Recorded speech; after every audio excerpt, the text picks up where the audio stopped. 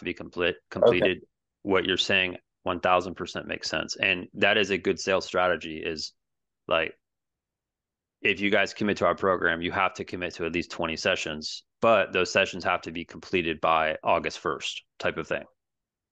Okay, I got you. That that is it's very similar to the model that we teach, but yeah, that that works.